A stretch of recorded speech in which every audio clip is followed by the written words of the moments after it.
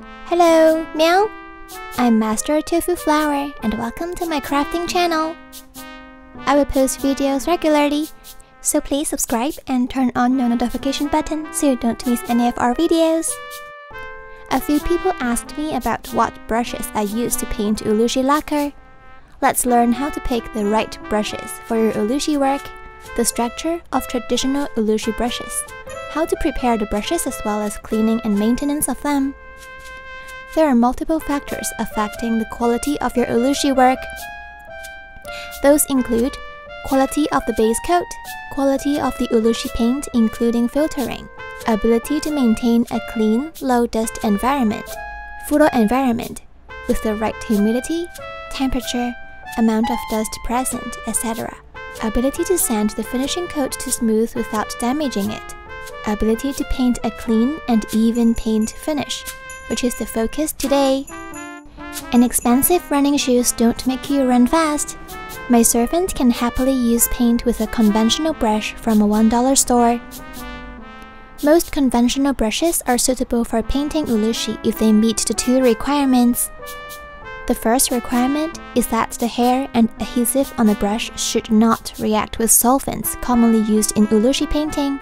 That include turpentine, camphor, gasoline, white spirit, and vegetable oil. If the adhesive is dissolving while you're painting, the brush hair will stick onto your work. The second requirement is the bristle shape. You should use flat, bright, or wash for a large surface and pointed round for details. There is such an abundance of different hair types to make paint brushes, meaning that selecting the correct brushes for your creation can be a confusing task. Each hair type has specific qualities and applies to different techniques and types of paint. The most important qualities are spring and stiffness. For thick urushi, such as primer, you will need a stiff brush. For thin urushi, such as raw urushi, a soft brush should be used. Synthetic brushes are incredibly good for urushi work. They are stronger and more resilient than natural hair brushes. Most importantly, no animal is harmed. One downside is the static charge on the brush may attract more dust and dirt. Artists have different preferences of brushes, and there's no right or wrong. I recommend you trying out different brushes and use the one you're most comfortable with. And practice makes perfect. Meow. Traditional urushi brushes are comprised of a hair core surrounded by four wooden boards. You can rejuvenate the brushes when the bristle is damaged. You simply cut off the old bristle, then shave the wood to expose the new bristle. Hence, the lifespan of traditional urushi brushes is at least 10 times longer than conventional brushes. And its price is also 10 times higher. With good care, an urushi brush can last for a decade. You will encounter some Japanese words on the brushes that describe the specification of the brushes. Most traditional brushes have an akage core. Direct translation of akage is red hair, but the actual meaning is alkaline treated straight black hair from a teenage girl who never dyed her hair or had any fancy hair treatment. Meow. Akage stiffness is between hog and white goat hair. You may also find umage, horsehair, and tatematse, mixed hair, which is usually a mix of red hair and horsehair. They are softer than akage. The softest hair is tamage, cat hair. You will find numerous bristle material. Make sure the hair is ethically sourced when you get it. I hate to see human or cat being harmed. Meow. You usually also see the words that describe the use of the brush, uwanuri, which means top coat on good quality brushes made for the top coat. This is the first brush you need to get. The word hontoshi means the hair core runs through the length of the handle. Hantoshi means half of the handle. Yonbun no ichi toshi means a quarter of the handle. If you cannot find the word toshi on the brush, that means there's no hair core in the handle, and you cannot rejuvenate the brush. Sun, bun, li are Japanese units of length. Try to read the specification on this brush.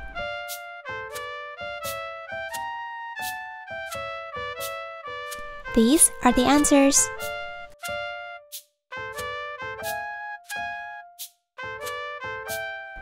For a conventional brush, you just need to rinse it with water before using.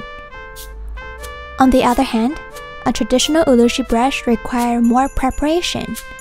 As you can see, a new traditional urushi brush has two sideboards and some unsoftened hair core is exposed in the middle. Sometimes the entire core is covered by the wood as in the brush on the bottom. The preparation includes shaving off the wood and shaping the bristle, softening the bristle, and sealing the wooden handle. You can get ready prepared traditional urushi brush. They are made for beginner and amateur. The quality is usually lower, while the price is more affordable. Most ready prepared brushes do not have a hair core, so you cannot rejuvenate them.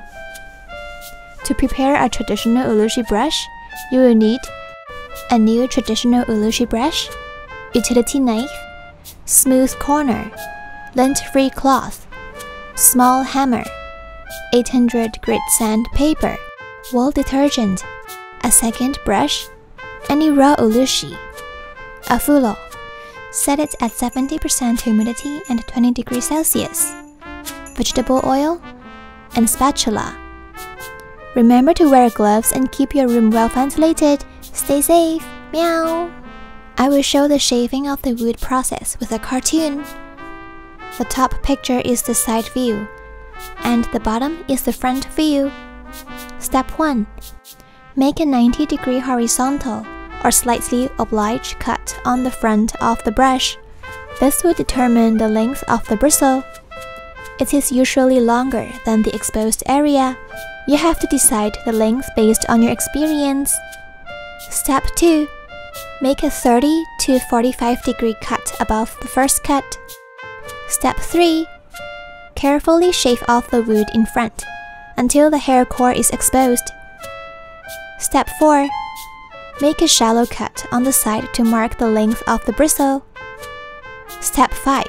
Flip the brush and repeat step 1 to 3 on the back. Step 6. Similarly, make a 90 degree horizontal cut on the side of the brush. Cut on the marked line. Step 7. Make a 30 to 45 degree horizontal cut above the previous cut and carefully shave off the wood in front. Repeat step 6 and 7 on the opposite side. Unfortunately, I'm not able to show the full shaving process because my servant has moved the brush out of the filming area. Nonetheless, the principle is the same.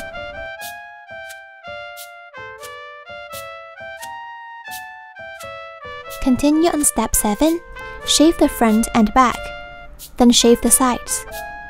The bristle length is around 7 to 8 millimeters.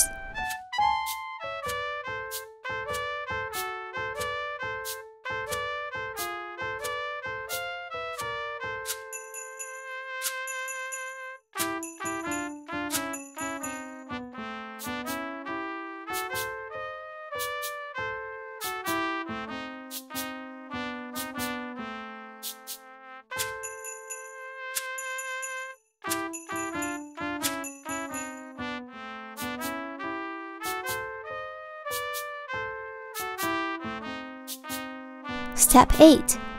Shape the hair core with the utility knife. The bristle is typically a flame shape. You can shave it to any shape you like. Also, shave the hair core to make it thinner because the original core is usually too thick.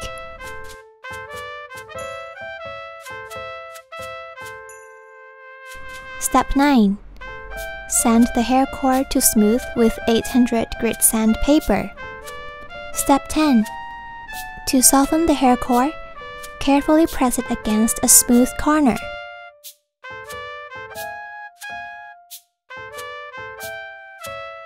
Step 11.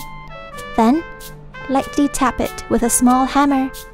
Make sure there is no sharp edges on the hammer. Do not hit the handle as it will damage the wood. Step 12. Wash away the glue on the bristle with warm water and detergent or shampoo. It is nice and soft. Meow. Dry the brush with lint-free cloth immediately, as the water can damage the unfinished wood and an exposed hair core. Do not soak the brush in the water. I hate water. Step 13. When the brush is dry, apply a generous amount of raw urushi on the wooden handle to seal it. Cure it in a furo for 3 days. This will protect the handle from moisture, mold, and solvent damage. You may repeat this step for several times for extra protection. Some crafters even strengthen it with cloth and primer to protect it. Step 14. Before using the brush, clean it with vegetable oil for 5 times. Add the oil on the board. Dip the brush into it and squeeze out the oil with a spatula. Do it for at least 5 times. The brush is ready for use. Meow! You can name your brush and write its name on the handle. It will stay with you for years like an old friend. I find the new bristle a bit stiff for top coat, but it will become softer with each use. Use the new brush to apply base or middle coat several times before using it for the top coat. You must rinse off the vegetable oil before you are painting with the brush. The step is the same on a conventional brush. Step 1. Basically, you repeat the last step with camphor oil or turpentine instead of vegetable oil. Step 2. Then, rinse off the solvent with the urushi you are going to apply. After painting, clean your brush immediately. Once the urushi has cured, there is no way to remove it. Step 1. Similarly, dip your brush into camphor oil or turpentine and squeeze it off. Repeat until the solvent is clean.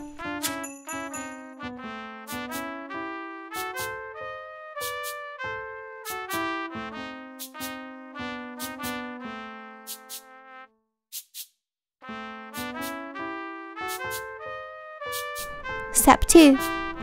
Next, dip your brush into vegetable oil and squeeze it off. Repeat at least 5 times.